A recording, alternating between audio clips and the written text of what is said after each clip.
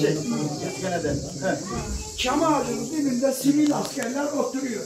De burada tartıştık. Öğrenciler geldiğinde işte köyü dedi 200 askerle basarım dedi. Tehdit etti bizi dedim ben suçluysa götür yani köyü tehdit etme. Yani ertesi gün vardım orada oturuyorlar.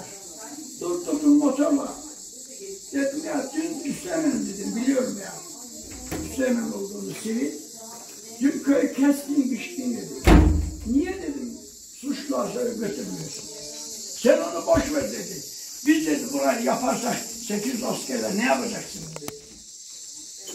Burası keban barajı değil. Gittiğimiz gün dedim. Hocalarla burayı yakar yıkardım. Zeşniye kadar yalıyı gösterdim. Orada heyelan oldu yıkılır üstümüze dedi. Yapacağım bir şey var. Söyleyin var. Geçsin siz de kurtulun biz de kurtulalım.